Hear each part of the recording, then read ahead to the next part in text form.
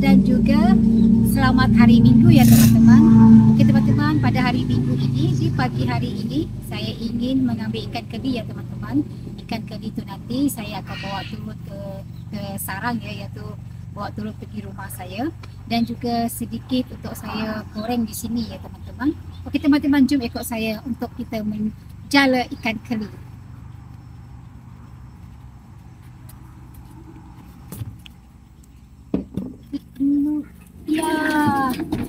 Okey. Nasi Tolak goreng. je. Ha? Tolak je. Okay. Dah ada air pipe. Hmm. Kalau tak ada air pipe, aduh kotor dah ini. Kita ambil 3 kilo. Oh. Oh, besar-besar. Tapi Mami tak nak ambil yang besar, Mami ambil yang tu je. Yang kecil-kecil. Ah, yang ni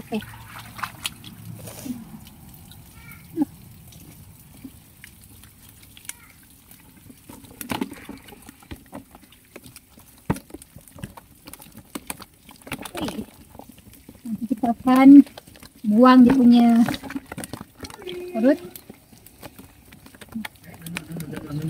Take off lagi teman-teman.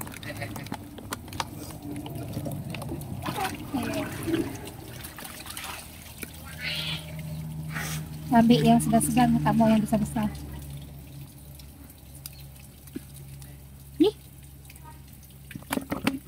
Wah. Cukup kan ni? Cukup ah?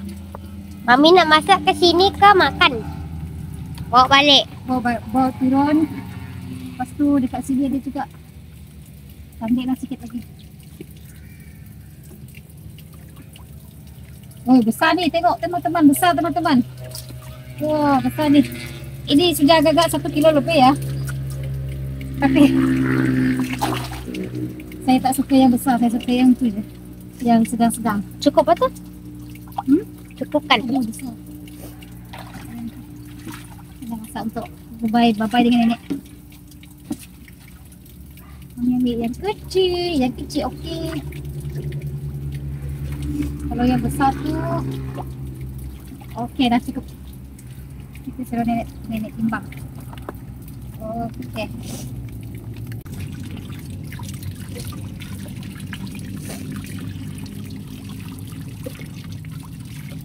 Yang dalam kolam eh, dalam kolam gantung ni susah mengalir ya teman-teman. Supaya bau hangit ikan ni hilang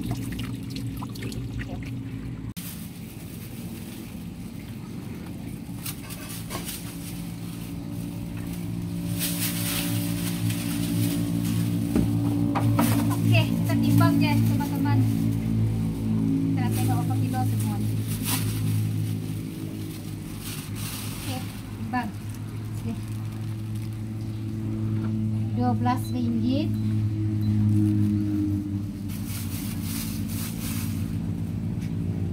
Oh RM41 40 sen.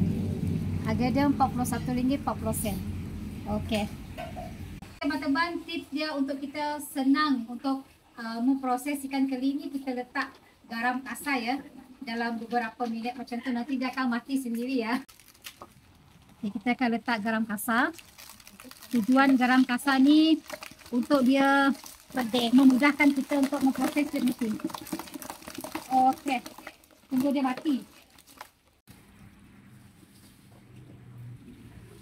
Okey teman-teman, kita mau ambil buah kelapa ya, kelapa muda. Yang ni kelapa pandan. Uh, hari ni adik ipar saya nak panjat pokok kelapa.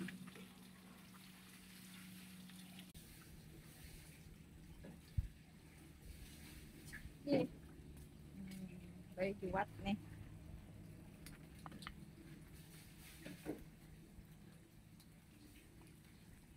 Ambil banyak kit, kami bawa turun jual satu buah, dua buah. dua biji.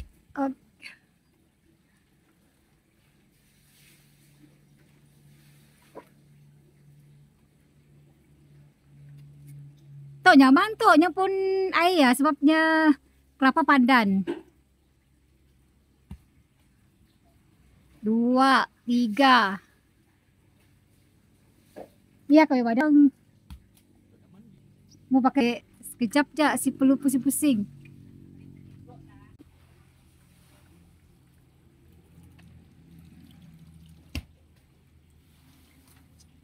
Oh, ada lima buah. Dekat sinun dia tinggi gila.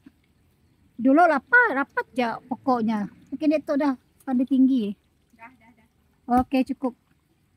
Mau mau ya, boleh juga. Nang tera orang untuk panjat.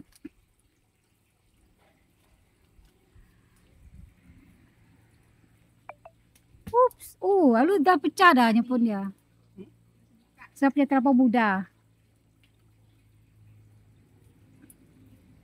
Dah okey lah ya. Sebabnya masih kecil. Okey.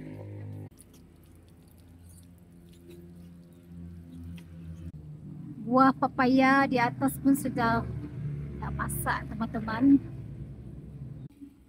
Teman-teman lumayan bang. Okey teman-teman ni dia hasil dia tadi kita ambil di belakang rumah. Kelapa pandan lepas tu buah betik. Oh tengok dia punya buah betik ni besar. Tapi belum masak lah. Yang ni kita boleh masak. Kita buat masakan. Oh adik aku baru balik dari kerja guys. Okey teman-teman, sekarang ni saya nak tunjukkan cara-cara dia kita nak buang hangir ikan keli ya. Sebab ikan keli ni dia ada satu rahsia uh, di mana tempat kita hendak membuang dia punya hangir yang paling bau ya. Jom tunjukkan cara-cara dia. Okey teman-teman, ini tadi hasil daripada kita letak garam kasar ya. Jadi kita tak perlu pukul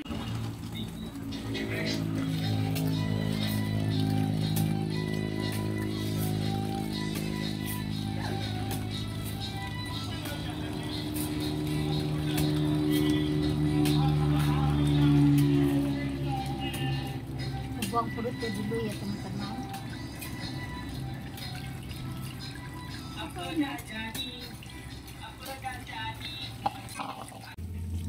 Okay teman-teman, dia punya bau tadi dekat sini ya.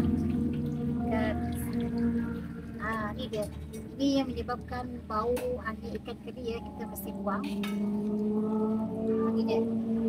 Dia macam bulat-bulat seperti ini ya. Ah. Oh, ini mesti kena buang. Itulah rahsia-rahsia dia. Okey, sebelah ni pula.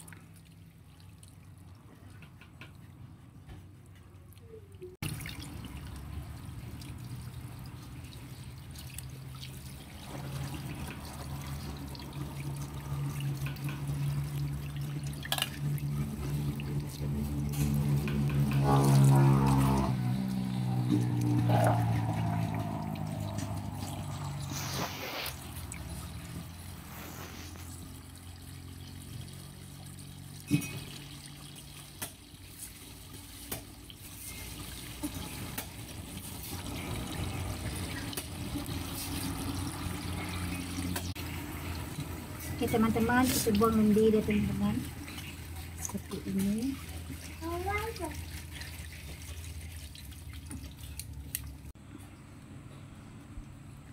Okey teman-teman, setakat ni saja perkongsian saya memproses ikan keli ya. Okey, yang ni nanti kita akan goreng di sini. Di sini ada 8 ekor, kita akan bawa turun. Ah, yang ni. Okay guys, jangan lupa like, komen dan juga subscribe Ju Channel Family ya teman-teman. Okay, sehingga kita bertemu di video yang akan datang lagi. Okay guys, bye.